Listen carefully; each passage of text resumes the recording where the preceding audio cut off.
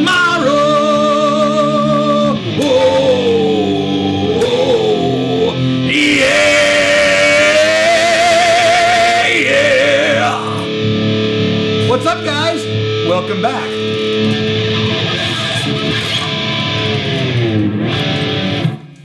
So, tech fans, what's going on? I'm glad to see you here. I'm having a pretty rocking day, having a lot of fun. So, check this out Apple, ooh, they may have something actually to worry about because Google is now going to release their Android Wear. That's right. So wearable tech is taking another step up the chain and Google is now entering the game. Now, this isn't like, you know, mom and pop's donuts is trying to enter into the game. This is Google, a giant, giant company, lots of backing, lots of cash, lots of followers. So when these guys say, hey, we're going to put out a product, I think it's going to do pretty good. Even though I know a lot of people out there thought Google Glass was a lot of bullshit, you have to fucking admit, it was interesting shit. I mean, it just was. I think those Google people are fucking fracking crazy in the ground filming everything, but you have to admit, it's a cool product. It's a niche product. And for those people who want to be on the edge and have cool, nifty stuff, you can't really beat Google Glass. When Jonathan had his pair, I know I sure wanted to check them out, and I'm sure you guys, if you get your hands on one, you want to check it out too.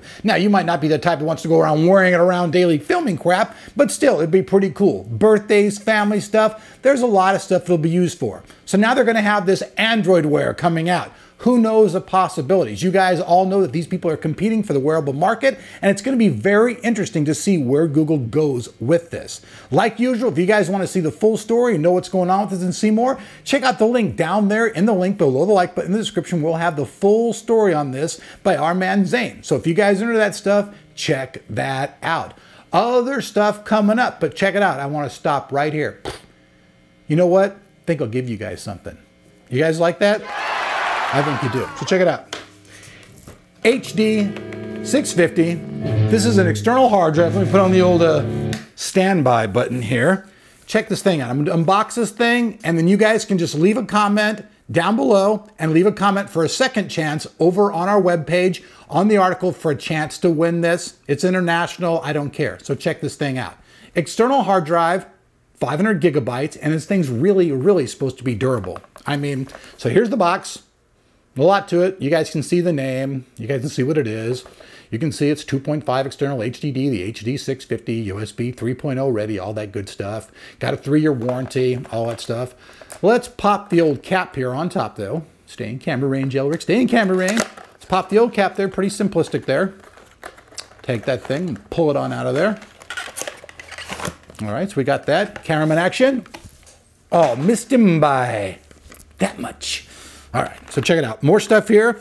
Here's some instruction stuff, quick start guide and all that stuff. I mean, you guys know what to do. You plug it in a USB thing, you go in, if Windows doesn't recognize it, you go into the advanced properties and you configure the thing. There you go, and you've got your drive for most laptops and everything. It will do it automatically. So this thing's just really some nice paper. Or if you're going on a camping trip, need some fire starter, I see the manual from ADATA being a perfect thing for that. I mean, no offense to ADATA, but it, this paper will burn as well as any other thing, right?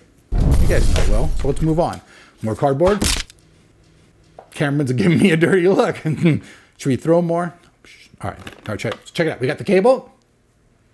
Nice cable, right? I won't throw it because we're going to give it to one of you guys. You don't want me to throw in the cable. But to be quite honest with you, I should throw the drive. I mean, I think ADATA would want me to throw the drive because this drive is very, very well made. Check this out. Comes in external total rubber housing.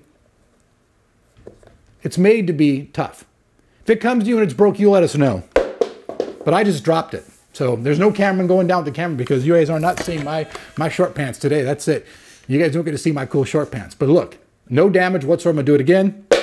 It actually bounces. So this thing's pretty damn durable. So one of you people out there is going to really like this. So if you're looking for 500 gigabytes of storage, you guys are looking to have this thing, take it around with you and not have it break, which I think is very important. Having your drive and being able to smack it around is important because think about it. Your lifestyle that you live isn't like some padded dream world where everything's just handed to you. You know, drinks are handed on a silver platter and everything's cushioned with pads. There's concrete everywhere. Tough shit. You want to drive that'll last. So if any folks out there are actually looking to buy this and you want to check out more information, we'll have all the details also down below in the description for this product as well. So let's keep going. All right, folks, so next up, if you guys follow the channel, you might have seen us at CES where we got to check out this totally wireless Sensei mouse from the people over at SteelSeries. Well, now pre-orders are now coming out to get this awesome product. Me personally, I like SteelSeries stuff. They make a tough-ass product that's made of quality stuff and seems to me to last quite a bit. We've tried out a whole bunch of their headphones, a whole lot of their products, and I really like them quite a bit. So people who are a fan of the Sensei mouse, you're gonna really be digging this because now the thing is totally wireless wireless. It's got this totally cool base that glows in the dark, looks like something spacey. You just set your mouse on it, it's all wireless charging. It's really, really cool. Like usual, you guys wanna check out picture of this, find out more information on how you can buy this thing. All the information will be down below. But I think that people who are into the Sensei mouse, you guys are gonna be quite impressed with this. And the fact that it's wireless, no more cables getting in your way is going to be a pretty damn cool thing. I think you're gonna think so too. So next up in the news, you guys all know that Thief has come out. A 10 year wait. Kevin actually covered the game. There were mixed feelings about it. Me personally, I thought that there would be a lot more about it. Now, AMD, though, is about to release their Mantle drivers for this game, and things are looking pretty good. Now you guys can see these guys used four different systems in these builds. They call them all mid-level, but actually some of them have some pretty high-end graphics cards in them, and the only reason they're really saying that because AMD doesn't have a CPU that costs $900 anymore, unlike Intel, so they're gearing it for that. So these four different systems, they range in different values and different things, and like usual, you will see that the lower end system benefits the most from Mantle. Now, some people are going to say, oh, that's crap, that's bullshit. But you know what? I kind of like AMD's strategy on this because if you've already paid for super high end shit, I mean, really, if you paid for a jet plane, what do you want to be? More of a jet plane? I mean, if, if you're paying for a jet plane, you should already have jet plane performance inside of your system, correct? I mean, I think you guys can agree with me on that. You're paying for high-end shit. Your system should kick ass. You shouldn't even need mantle. You should just be able to go, mantle my ass. But since these guys are touting it and it does do stuff for lower end people, that's pretty cool. So that way people have laptops or lower end systems, they're going to benefit the most. Because think about it, they don't have the big bucks to be buying the jetliner like, you know, some of us do. So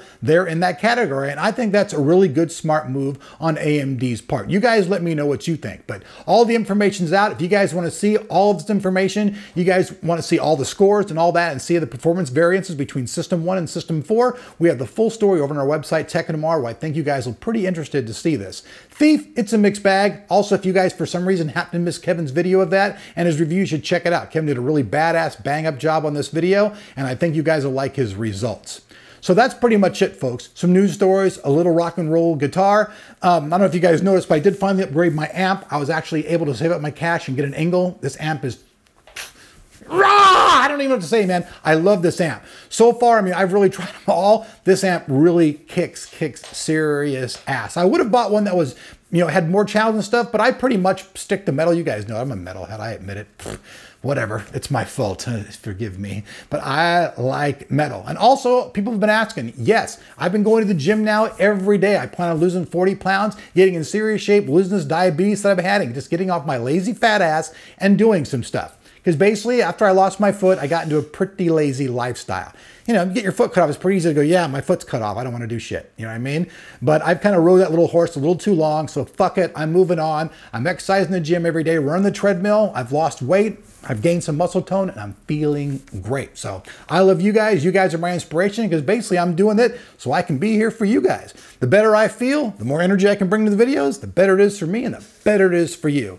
So peace out. Like I said, all the information is down below that like button. If you like this video, you like this style, make sure you kung fu that thing. Try not to break your keyboard when you do so. And if you're not subbed and you'd like to be, check out the link back here. It'll be down there in the description. So peace out, folks. We'll see you guys back here on Tech of tomorrow for more tech tomorrow.